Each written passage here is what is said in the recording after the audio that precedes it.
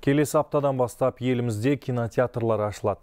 Ведомствоаралық комиссия осындай шешім қабылдады. Бірақ залдар көрерменге лық толмауы тиіс. Елде тағы қандай өзгерістер болады? Дастан Сейілханұлы айтсын. Қауіпті кесел қайта күш ала бастады. Кәрі құрлық құрсауланып жатыр. Мамандар екінші толқын басталды деп дабыл қағуда. Адамдар абдырап, апай топай болып жатқанда Қазақстанда кинотеатрлар ашылатын болды. Ведомствоаралық комиссия осындай шешім қабылдады. С 26 октября разрешить 26 қазаннан бастап эпидемиологиялық ахуал тұрақты өңірлерде кинотеатрлардың жұмыс істеуіне рұқсат беріледі.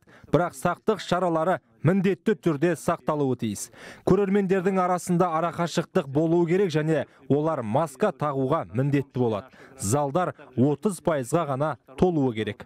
Рас, елдегі жағдай тұрақты, кесел қайта өршіп кетті деуге келмейді, бірақ індет жұқтырып жатқандар саны бірте артып барады. Сол себепті кинотеатрлар сақтық шаралары мұқият сақталып жатқан аймақтарда ғана ашылады. Залдар көрерменге лық толмайды. Келесі аптадан бастап өзге елдерге қатынайтын ұшақтардың саны біршама азаяды, жолаушылардың ПТР тесті тек үш күнге ғана жарамды болады. Әуежайларда тексеріс күшейеді.